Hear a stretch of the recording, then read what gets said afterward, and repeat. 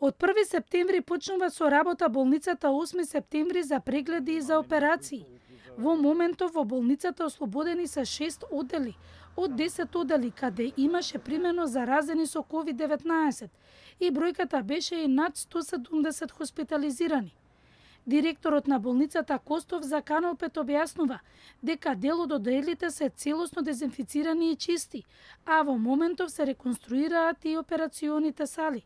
Се надевам дека набрзо хирургија ќе исто така ќе проработат операционите сали. Во моментот правиме некоја мала а, реконструкција на подобите во четири операциони сали, кои што отприлика за две недели ќе бидат а, завршени.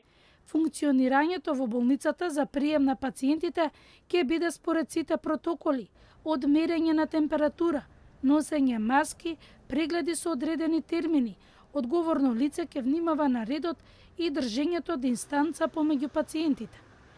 Од болницата објаснуваат дека сите пациенти кои ќе треба да бидат хоспитализирани ќе мора да имаат ПСР негативен тест. Доколку некој е итен за некоја хирушка интервенција, интервенцијата ќе му биде направена, но ќе биде вставен во изолација се до моментот додека не се добие негативен тест.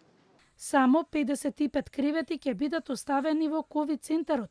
Според Костов, бројката на приеми се намалила откако во другите градови почнале да функционираат тријажните центри и полесните пациенти ги сместуваат во матичните болници.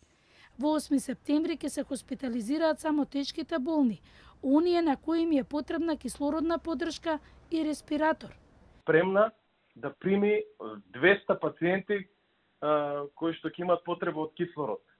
Меѓутоа, во зависност нели какво ќе биде развојот на пандемијата во нашата држава, ќе ги пратиме препораките и во зависност од тоа каква одлука ќе се донесе од страна на Министерството за здравство, така ние правовремено нели ќе ги следиме инструкциите. Денеска 33 годишен жител од Штип ја надмина кризата со сипап маска во оваа болница и е оздравен.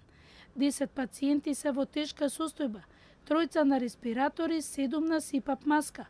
Вкупно се хоспитализирани 74 пациенти.